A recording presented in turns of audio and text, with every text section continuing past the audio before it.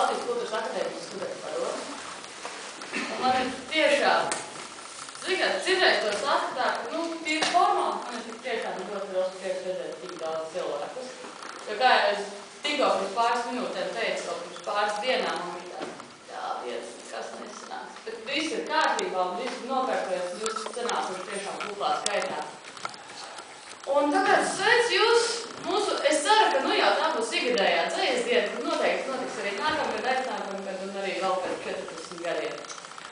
Un, uh, bet uh, ievadām, pirms mēs sākam lasījumus un spēlējumus, gribētu uztaisīt mazu akciju. Akciju, performanci, kurā iesaistīt jūs visus. Kā zināms, tieši pirms 50 gadiem šajā dienā pirmo reizi kosmosā izlidoja mūsu kolēģis. Nu, ne mūsu, bet nu, cilvēks. Teiksim tā. Kā viņam bija vārds? Jūlijas ir gārds. Jā, tieši tā. Un uh, tāpēc mēs varētu sākt ar tādu tā nelielu kosmosa tēmu. Un es gribētu jums visiem izdalīt tā, sadalīt pilspāles, bet pilspāles gribētu kā viņiem paveicēs. Un uh, lapiņas un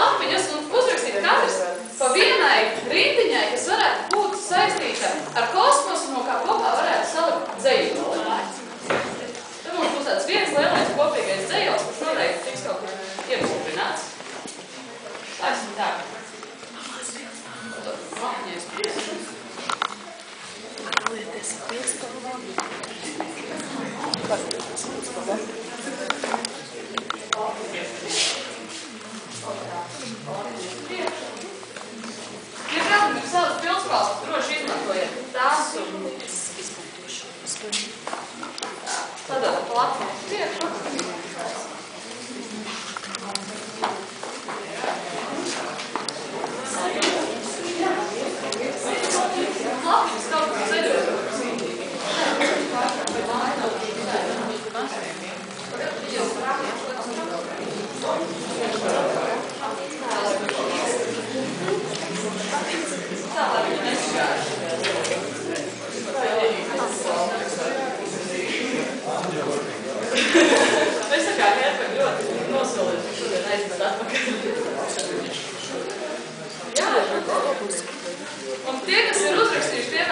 Droši Vēl ir labi.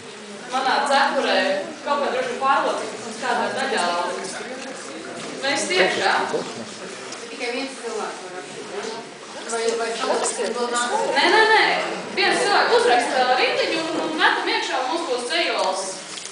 Tāds ļoti, ļoti apziņas. Dadaļas. Dadaļas cejols. Jā, tieši tā. Kaut kur, kaut kur ir vēl kāds lapiņas, neklīst rītī apkārt. Jā. Te ir lapiņas. Tā, Tukšas. lapiņas. Tā. Vai tu tukšas? Lapiņā ir vēl kāds, kur nav lapiņas. Jā.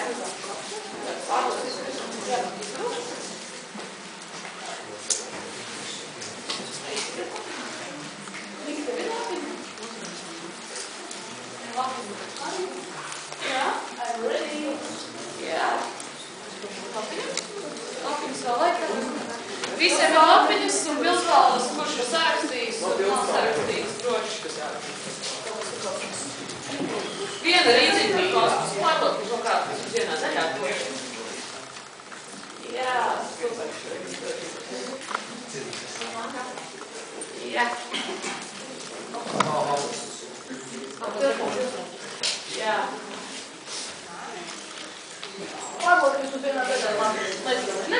弱的很稳重。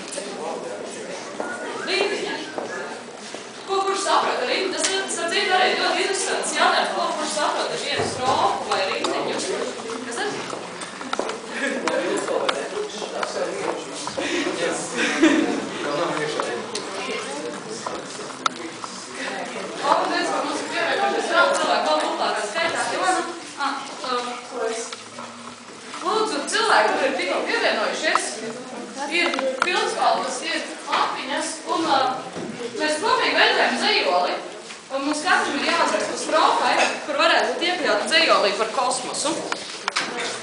Lapiņas pilspalvas ir pagaidām divas, tagad jau ir trīs. Kristīna, tu kaut ko rakstīt? Jā. Šeit